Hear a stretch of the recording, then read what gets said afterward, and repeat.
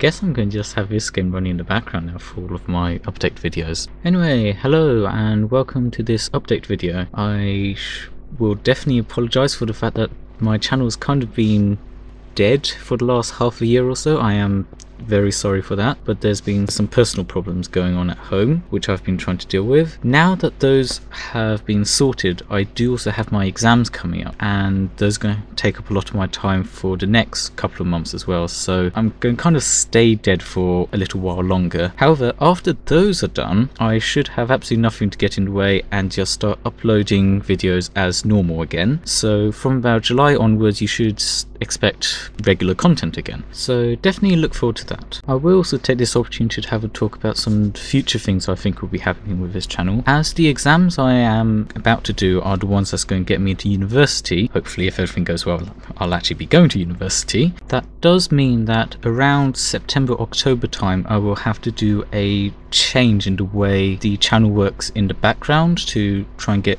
new people to help me do some of the editing and artwork, which means that around that time there may be slight glitches in when videos come out. Like you might get instead of one at the end of every month there might be two, in the same month at opposite ends of the month whilst other months have nothing.